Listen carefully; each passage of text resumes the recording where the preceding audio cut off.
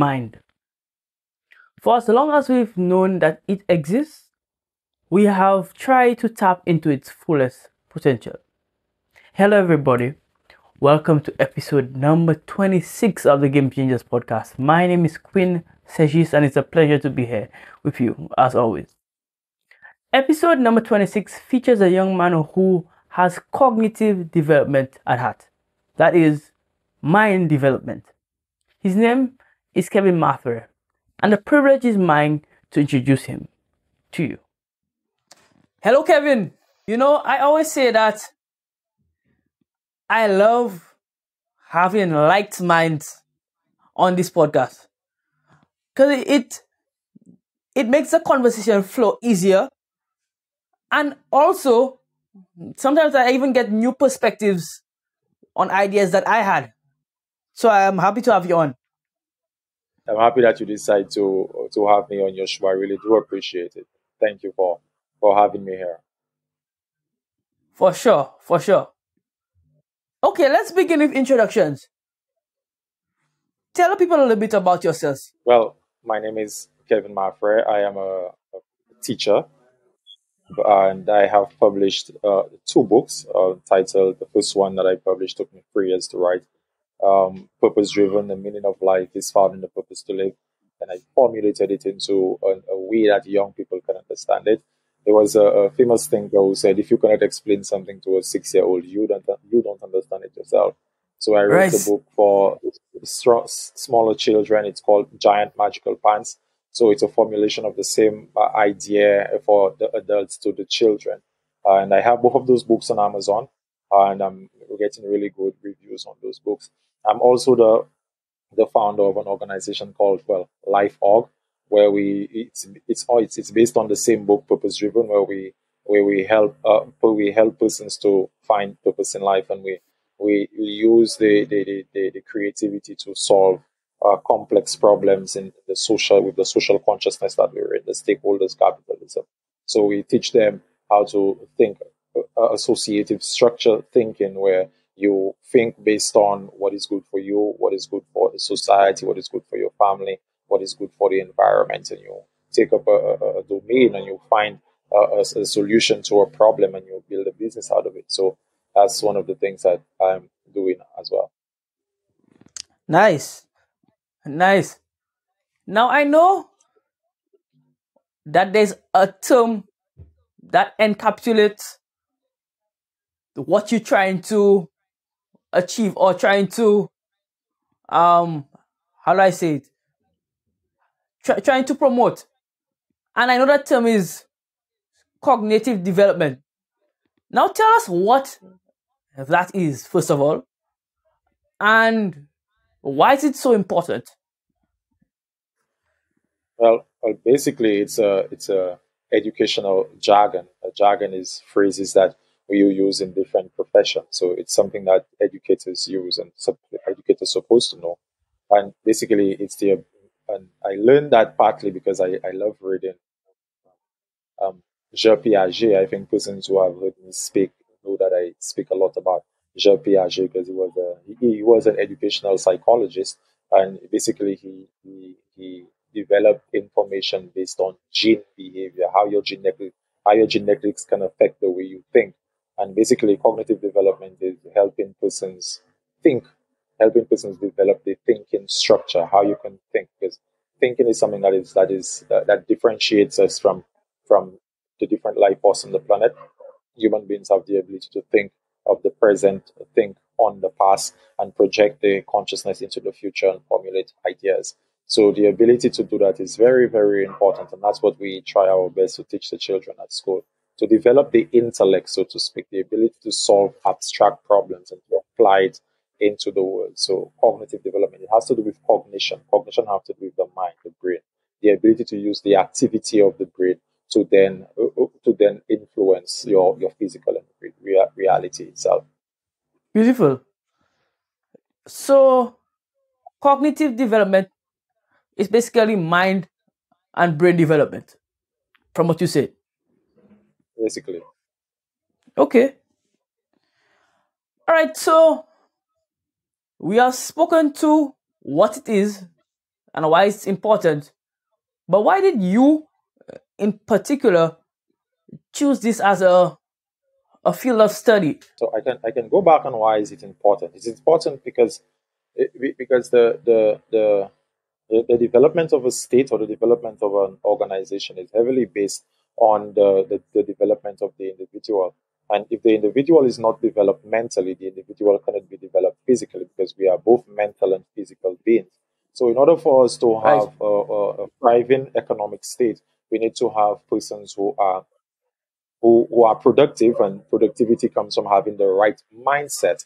And that's where cognitive development, why it is important, and why we spend uh, a lot of time trying to achieve that amount of, of, of, of brain power because we need to solve complex problems in an ever changing world.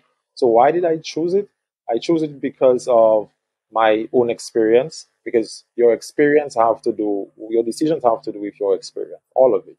So, how I experience the world and, and what I see that is that it was lacking within my environment, within the space that I grew up, and and, and the mindset of the the, the the people that I was around, and that influenced my mindset. That I had to go on a journey to change my mindset, and I got a brilliant opportunity. I mean, I was God sent to have to study to become a teacher and teaching and teach you a lot about yourself and how you think and how to develop your intellect. And I just fell in love with that. And I'm still a teacher, and I, I just pursued that line of, of, of that career path. Right. I like that. Now we know that cognitive development and any um, mental development, I guess, takes place largely, not only but largely, in the school system. What element of our school system do you think can be revamped or improved to ensure that cognitive development is the focus and that we will truly achieve um, the heights that we should get to? All right, that, that's that's a that's a fact question, so I'm going to try to one side. Um, yes. Number one, number one, I think um, we're going based on the the definition of words right now, which is education, because you mentioned the school system, and the school system is meant to educate our wider population. And the word education, what what basically does education means? So I, I looked up the, the etymology, the, the, the origin of the word education, and majority of it has to do with bring out the ability to teach somebody how to think. And one of the ways that, and there's a thin line between teaching somebody what to think and teaching somebody how to think. And we need to learn that. Yes, for sure. How to is, is, a, is, a, is a much better approach for a sovereign, independent individual than always telling somebody what to think. And I believe we need to be able to um, draw the lines between the how and the what that's one of the things that we need to do individually as teachers, teach people how to think. And when you take it, similar to the saying that they say, teach a man how to fish, and you do not have to give him a fish anymore. So if you teach them how to think properly, I think they will be able to solve the problems that comes within their life. And and, and as, as it pertains to, to, to, the, to the education system, I believe there's a lot of things that, that I mean, that is out of the hands of the persons on the ground because we are we are on the ground doing what we're supposed to do. And there are still things that is out of the hands of the policymakers. And I think that we, both of both of us are trying our best to do the best that we can. And I, I, I really believe that what needs to be done is a, a level of, of, of, of, of understanding itself as it pertains to why education is important to the wider civilization and why belief is important to the wider civilization. So if we have a consciousness of people that that know that uh, what what education is for and what beliefs are for, I think we'll be able to give it more. We'll give it more. Pri- we'll give it more priority. We'll give it. We put it higher on our priority list as a nation and as a people and as individuals. How do we achieve that, though? How how do we teach people how to think? basically uh, the, the main and that's a that's a that's a that's a searching question the main reason why thinking is is important is because it influences our, our our, belief so you need to find out how important is your belief as an individual? And somebody might say, oh my God, I, I don't believe in anything. I, I don't have a belief system. I don't have a, a framework on which I interpret the world. Anybody who is alive today has a framework on which they interpret the world. They have a belief system, whether or not they are consciously aware of it. It acts on them unconsciously. So, so the the, the, the, the, the question that, that, that you're asking, how do we teach people to think? I think we have to teach people how thinking, the patterns of thinking takes place. And, and even um, um, um, Jean Piaget, he had his four he had his four stages of, of cognitive development where where you have the sensory motor, you uh, you, have the sensory motor, you have um, the pre-operational stage, you have the concrete operational stage, and the formal operational stage. In every stage, he's saying that children develop through those stages at different ages and and and, and so you have some characteristics of the sensory operational stage where uh, children go based on the senses, what they see. You have a little child, the child only interact with the world based on the physical touches. And you, as they grow up, they're, they're developing the cognitive, they're developing the intellect, the ability to think differently. But as you grow up to be a mature individual, there's something called the concrete operational stage. And in that area, the people now have to learn how to differentiate between abstract imaginative thinking and thinking that is within the, the, the, the that is that is substantial, that is in the real, that is reality, and that's right. one of the difficult. That's one of the difficult problems we have to differentiate whether or not our thinking patterns are imaginative and whether or not it's empirical. And and the way you teach people how to do that is is to have them to look at the experiences and take the experiences along with the with the outer world. And that's what i'm trying to teach associational structure thinking. What you what is true for you biologically what is true for you psychologically what is true for you sociologically what is true for you on an economic level. So if you that's that's the idea of principles right? So if something is true in the biological domain it must be true in the in the civilized it must be true to civilization. Uh, for example um, i read this book um, um, from from this guy Joseph Murphy, and I think it's Joseph Murphy or Napoleon Hill, and he said, and I think he quoted that from the Bible when he said, "As a man thinketh in his mind, he becomes." So easy. But in biology, that's Napoleon Hill. Yeah, and, but yeah, yeah, but but in biology, they're showing you that there's something called neuroplasticity, and neuroplasticity can see itself in one of Ben Carson's book that I, I read when he was talking about gifted hands. He was saying that he was a brain, he was a neurosurgeon, and what he what he found the cure to was epilepsy, something like that. And he cut off part of he cut part of the brain of the individual, but the function that was in that brain it took itself into another part of the brain. So basically, basically neuroplasticity is saying your mind is almost like it's not it's not only bounded by the structure of the brain because it can change the neural firing can change to go to other places so based on the environment you are in, based on the places that you are in, you based on what you put your focus on, your mind would be able to adapt and the neuro that's why it's called neuroplasticity. It's able right. to be adapted to and that's what human beings are wonderful for. We are what we are very adaptive. So so so so so basically we, we have to understand the, the ability to think it must be grounded in if you're coming up with something, it must be grounded in things that are true because sometimes we hear persons make policies and the policies are not are not substantial in any way. They have no basis for what they say. It's not grounded in any real landscape. We're just thinking abstractly, but the abstraction is not grounded on in reality. So we, we're trying to join uh, what I'm trying to do is join the abstraction with truth. So I think that's how persons have to learn how to think if we have to move forward in this ever changing technological world, information world as well.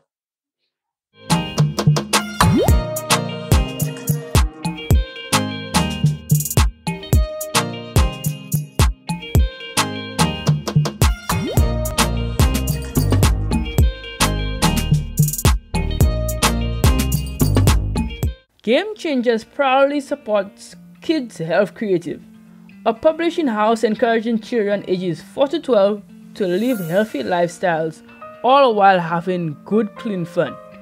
Get their latest book, Be Smart, at 10% off when you use promo code QUINST at checkout. That's Q U I N N S T at checkout. Get yours today.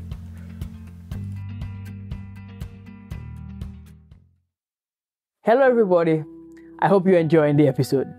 This episode was made possible through a platform called Riverside FM. It's a platform that I've grown to love and it really does justice to creators. Unlike Zoom or other platforms, it records content locally and then uploads it to the cloud so you have a seamless video. If you are a creator and looking to get into this space, this is the platform for you. Click the link down below to get started today. Have you gotten your official Game Changers merch yet? If not, what are you waiting for? Get yourself a hip, trendy t shirt or hoodie that is sure to turn heads. T shirts only cost $55 EC, and hoodies go for $120 EC. Highlight your inner game changer. Get yours today.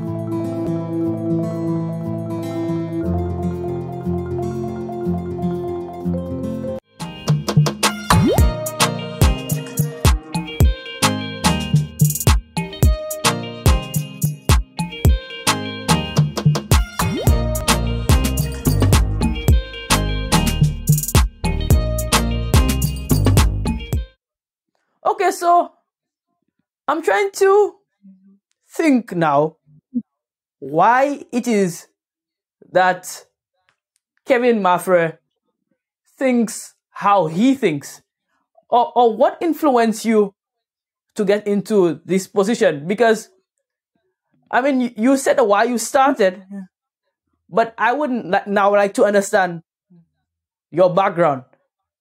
What parts maybe in your childhood or in your education helped you or informed your choice to go into this field. So take me back in history. Tell me what about your background brought you here. So basically, basically, I, I, I was oh, well. I attended Vieux Fort Comprehensive School, and I was eh, very interested in, in, in sports. I was I was an athlete. I well, I still do play, but the time that I was playing basketball, I, I really put a lot of energy and effort in playing basketball. Uh, and I, I, I was, you know, for at that time I was tall, so it was easy for me to consider myself to be good. So I could have scored easy points over the short persons. And I right. decided that's something that's nice that I, I wanted to pursue. And I trained very hard at it. I, I traveled the Windward Islands playing basketball, Windward Islands team. Oh. I went to Cleveland and I had many wonderful experiences there. I traveled many different places playing basketball, and I, I decided to pursue it further into finding a scholarship to study. And that didn't happen. That fell through the cracks, and I realized that that that there's nothing else because because I had an aim all the time that I had the aim working towards getting a basketball scholarship. I, I felt that my life was a lot better. I was I was living life. I wasn't I was very disciplined because of the, the aim that I had, the aim that I have. And reflecting on it, I realized that aim gave my life meaning because I wasn't partaking in any um, violence. I wasn't partaking in any drinking. I wasn't partaking in any of the social norms that persons nowadays would deem bad. I wasn't partaking in any of that because I know I had an aim. I know what I wanted to do. And I, I went to bed early. I woke up early to go and train. I didn't have any um, older persons tell me what to do to be successful. So because I knew exactly what I wanted, I decided to be able to do what's necessary to get there. And when after my I got an opportunity to get a scholarship, and after the scholarship fell through, I no longer had that aim. I no longer had that aim. Although I be I was a, working adult at the time I became a, a teacher, um, uh, I no longer had that aim. Even though I was making more money than I was making than when I was playing basketball, but life just felt empty. Life just felt meaningless. And I was participating in, in, in, in, in behaviors based on alcohol, all those things. All the things that you could think about that young persons in society would be taking part in. Because I lost my aim, even though I, I was making, um, I was, I had a job and, and the job didn't define as high as my aim was, I felt into, you know, what you call existential crisis. And right then I, I, I realized that I was like, when I was playing basketball, I felt a lot more fulfilled, not happy. I felt a lot more fulfilled. But now that I'm working, I'm there's a void that I, I don't know what I'm about. I'm lost, and I decided to watch myself and to try to to re-specify an aim that is higher, so that I could experience that fulfillment again. And one of the things that I found that why something is happening to you, when I look around, I realize that same thing is happening to a lot of young persons right here within the, the community that I was raised in. And I realized, why not try to tell them about your experience that you are very aware of? Because they're almost going through the same thing. Because and even Viktor Frankl, who said something like that, Viktor Frankl, one of the favorite books that I've read, he said the, the book, the name of the book is Man's Search for Meaning. And he said that if an individual doesn't have meaning in life, he falls to, to, to the will to pleasure. He, he doesn't specify his life meaningfully. The other thing that he will do is, is the, the, the desire for pleasure. We see that a lot in our society, the, the desire for pleasure, power, and all those things, because we don't have a meaningful aim. So when I realized that, I was like, oh, it's interesting that I, I could see something like that. So I decided to write the book and to try to talk to persons about having meaning in life. And meaning in life is specified based on how you think about your your your experience in life. Wow. You know, I that that part of the interview is always interesting to me. Cause I need to understand your why and understanding your why, I really understand where your passion comes from.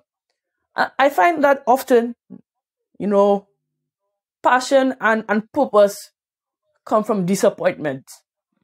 You know, um, the Bible says that all things work together for good, right? It's not that all things are good, but all things work together for good. I'm seeing that your your disappointment in basketball informed, you know, your purpose in life. So I like that. Would you agree with that? Yes, totally. I think I think that's that's a nice way to to to say it. And there's a lesson in there for any young person or any person listen. You know, you may be disappointed right now. Use this time to find why you exist on this earth and find your purpose. Beautiful. Okay. So, Kevin, you said a while ago that you are an author. Okay, so take us into your books. Get more specific. What are each of the two books about?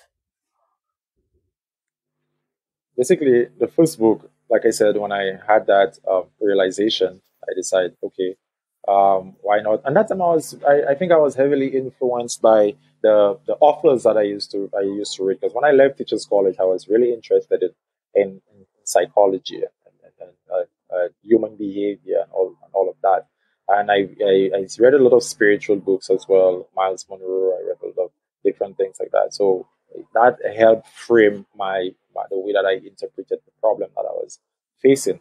So, and a lot of the books that I read, it came across as very complex. It was very, very complex. So I, I took I took a lot of time to read it. I used to read. I had a phone at the time, and I used to have the phone by me. And while I read, I used to research the definition of words. And I used to right.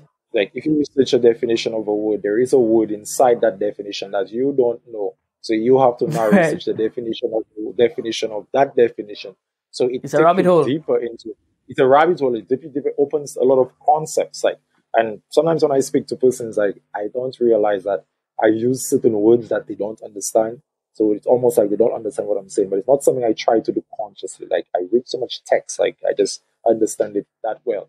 So I, I decided that okay, why those books are so complex? I think I can I can simplify it for persons that don't have so much time to read. You already persons don't like to read. Number one, and to read such difficult text. So I spend a lot of time uh, putting the, the first book together called Purpose Driven. The meaning of life is found in the purpose to live. And basically, what I'm saying here is the same problem that I faced. Um, having a valuable aim in life is important for psychological development, or having a, a valuable aim in life is important for cognitive development. You can say the same thing. So, and, and the definition of valuable when I describe an aim It's saying that something that you do, like I said earlier, that is important to you, beneficial, not just important, beneficial to you, and something that is beneficial to your family, something that is beneficial to your community, something that is beneficial to your society, something that is beneficial to the environment and to your culture. So you have a small window to thinking. You're not thinking about everything. You specify your your aims, and uh, even the Bible said that. It said, "Straight and narrow is the truth that leads to life." So you don't look at everything. You look at what is beneficial to your life. Like if you know what's beneficial to your life, there's a lot of things that you already you, you, you will not do.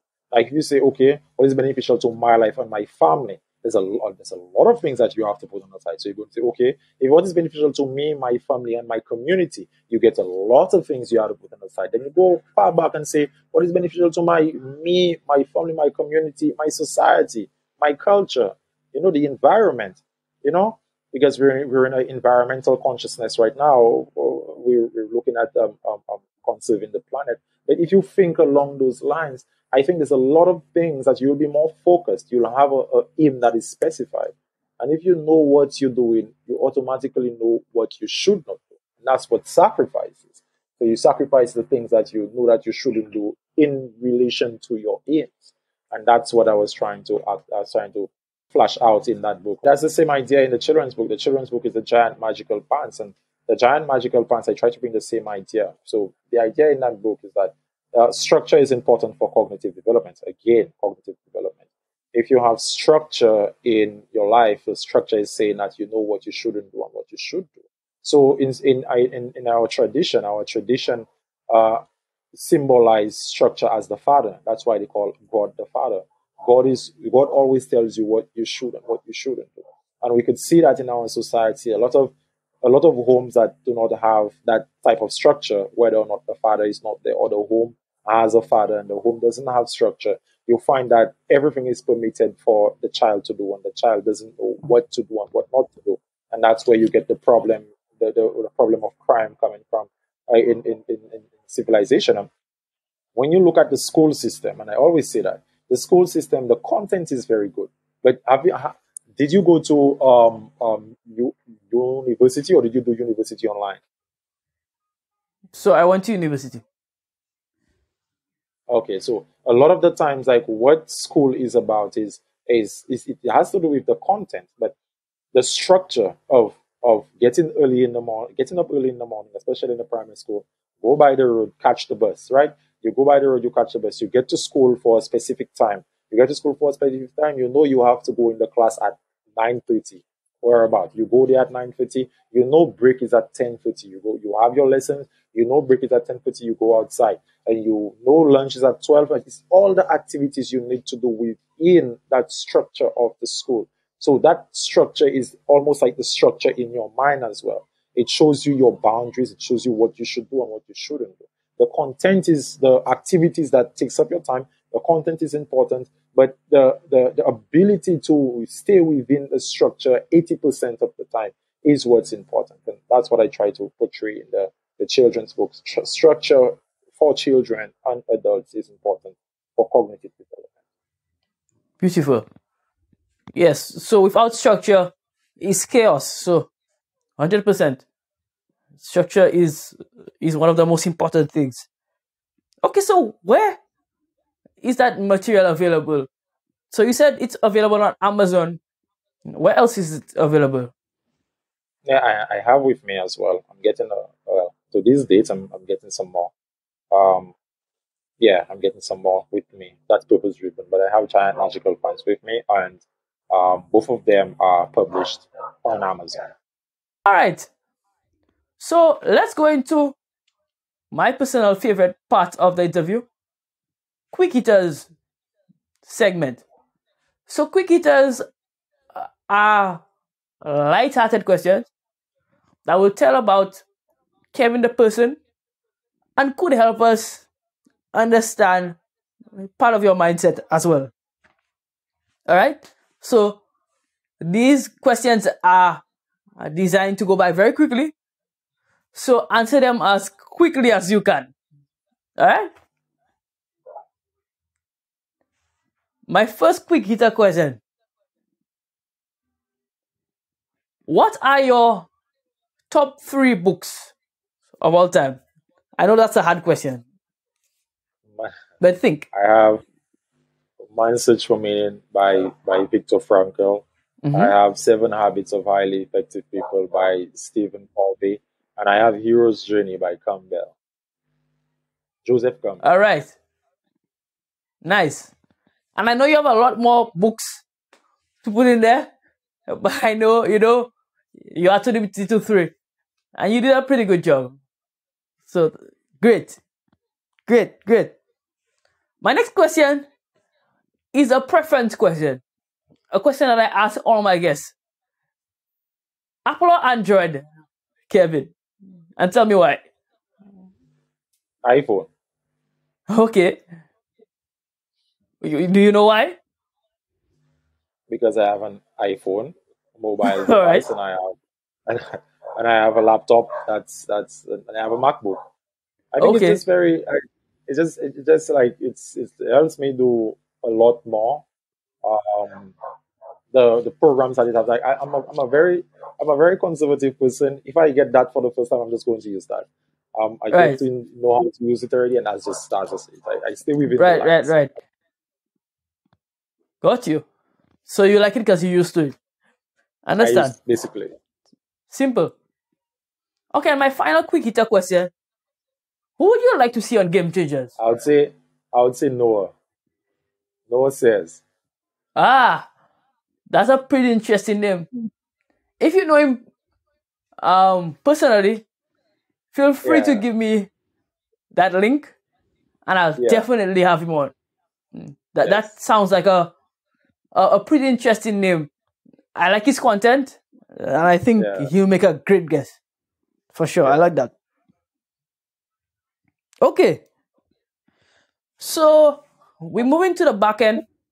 The last few questions. I know that cognitive development cannot exist where bad mental health also exists. Tell me the importance of good mental health.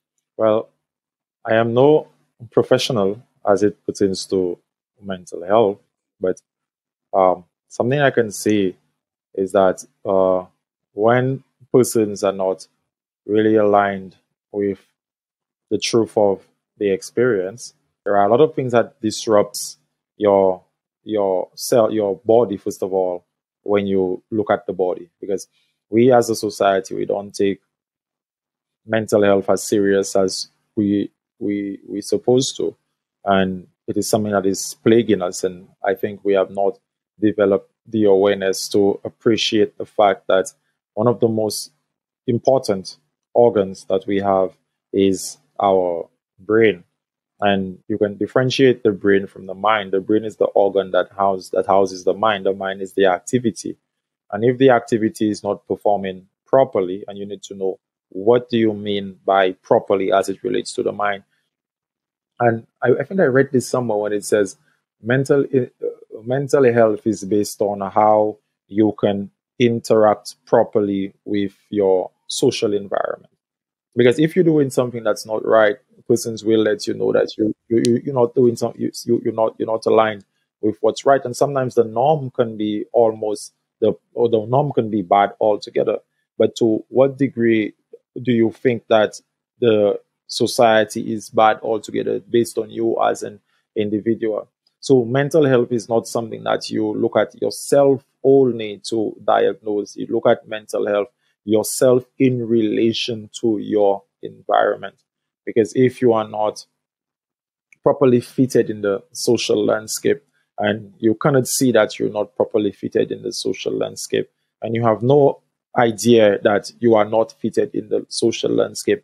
That is something that you're missing. The activity of the mind is not well aligned with the relation of the society. So, like I said, I'm no um, um I'm professional, but I, I see persons around the place, and and if you don't look at it, if we have somebody go to a therapist, like like to to to speak and to to because they're trying to get their mental health going, like we almost look at it like it's a it's it's it's, it's a taboo thing. It's something to to joke about, and we we don't take counseling seriously. We don't take therapy seriously. We don't take It's like we have we, we have two spectrums. Either you okay or you mad. I think there's nothing wrong with you. It's not yeah, that's two spectrums that we have. The minute you hear somebody go to the wellness center, to, to, to the to the mental institute, like, oh, the person mad. It's not it's not that the person mad, probably the person the way the person experience in the world or the emotional state to the physical state, it's too unbearable for them. So mental health is something, especially the mental health of, of men, men mental health. We have a lot of mad men around the place. We have more mad men than mad women. A lot of men just lose it, and we have to ask ourselves why. But go ahead. Yeah, for sure. And you know, um, being, I guess, sensitive to these of situations, I think will help improve us us as a society. You know? But it's a process like everything else. Alright, so Kevin, tell us how we can get in contact with you. Well, I have a, uh, I have my social media platform. I have um, Instagram, which is um, Kevin Mathurin Notes. That's where I post some of the things, some of the content that I create. Um, I also have a YouTube channel, uh, Kevin Mathurin Podcast, where I meet with different persons and have interesting conversation, different professionals, intellectuals uh, across the Caribbean and sometimes um, uh, Latin America and all those places. And we talk about development and human development and if there is an objective mode of um, seeing the world of, of, objective things that you must do to develop. I have that on my YouTube um, podcasting. I also have my Instagram, my, like I said, my Instagram. I have my Facebook page, Kevin Mathurin, and I have my Insta, my um, Life Org institution as well. So you can send me a message on either one of those platforms, and and and we could we could take it we could take it from there. Lovely. I will definitely as usual, leave the links down below so people can get connected with you. All right, Kevin, it was a pleasure speaking to you. You know, when I learn from my guests, I really enjoyed. And I have definitely learned, and I would definitely go back and listen to this again and learn a lot more. Thank you for all you do. And I look forward to even being on your podcast sometime in the future. Happy to have you here. Thank man. you for inviting me and thank you for your line of questioning. I think you really do have something going on here, and I would like you to keep pushing forward from strength to strength. Thank you for the interview. Okay, guys. This has been episode number 26 of the Game Changers podcast. I look forward to hearing your comments and hearing from you based on this questioning and based on this interview. And I look forward to getting you guys thumbs up and general interaction. Remember to like and subscribe, guys. Your subscription means a lot and it helps grow the channel. And the bigger the channel gets, the better our guests get. So remember to like and subscribe. And remember to follow us on all platforms. We're on Spotify, Google Podcasts, Apple Podcasts, and wherever you get your podcasts. All right, guys. This has been yet another episode of Game Changers. Thank you for coming on, and I look forward to seeing you next time. As always, stay hungry. Bye bye.